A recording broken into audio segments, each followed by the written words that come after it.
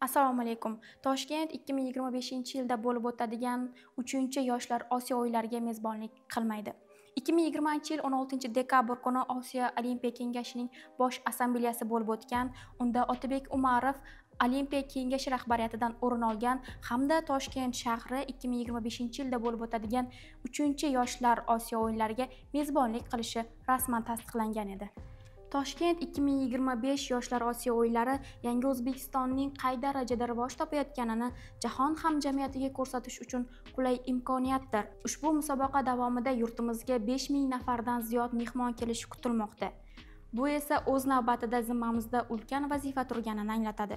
Ishonchimiz komilki prezidentimizning e'tibori hukumatimizning qo'llab quvvatlashi bilan mazkur yirik kompleks musobaqani yuqori saviyada tashkil eta olamiz deyilgan edi milliy olimpiya qo'mitasining rasmiy saytida.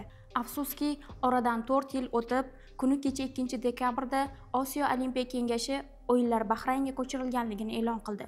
Ma'lum bo'lishicha o'zbekiston milliy olimpiya qo'mitasi toshkentdagi olimpiya shaharchasi qurilishi o'z vaqtida yakunlanmasligi sababli osiyo olimpiya kengashiga o'yinlarni mamlakatda qabul qila olmasligini bildirib xat yuborgan.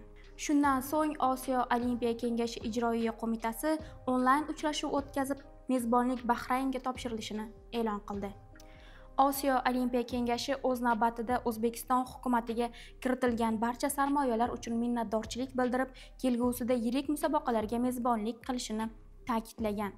Yoshlar o'yinlaridan so'ng beshinchi para osiyo o'yinlari mezbonligidan ham voz kechildi. Hozircha para osiyo o'yinlari qaysi davlatda o'tkazilishi noma'lum.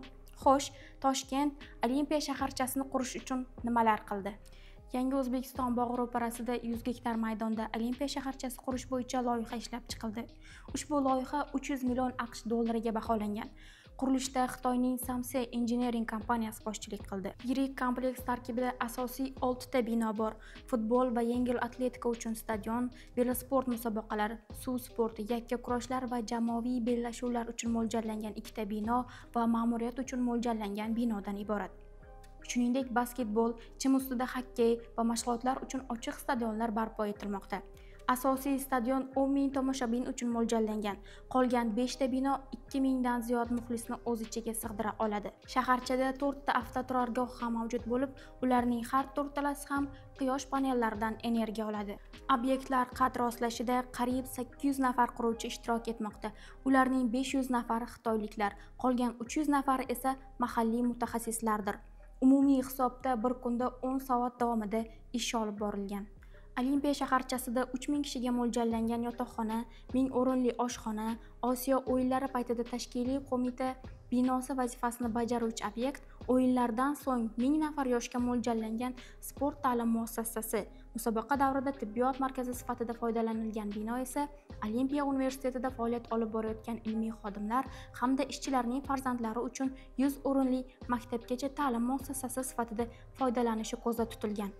Kompleksdagi inshootlarning barchasi keyinchalik olimpiya universitetining o'quv mashg'ulotlar bazasiga aylantirilishi ko'zda tutilgan. Shuningdek ko'plab sport turlari bo'yicha federatsiya va assotsiatsiyalar ham shu joyga ko'chirilishi sport tibbiyoti markazi zamonaviy multimedia markazi qurilib kelgusida bu maskan 24 ga 7 rejimida ishlashi reja qilingan edi.